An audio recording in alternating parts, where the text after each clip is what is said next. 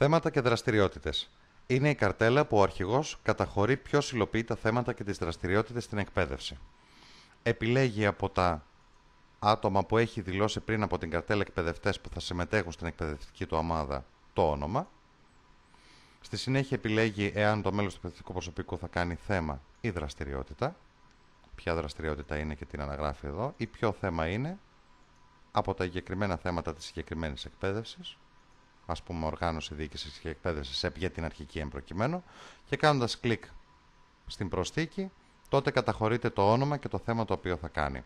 Σε περίπτωση που ο αρχηγός κάνει κάποιο λάθος στην καταχώρηση, τότε πολύ εύκολα κάνοντας κλικ στο κουμπί διαγραφή, διαγράφει την καταχώρηση και την επαναλαμβάνει.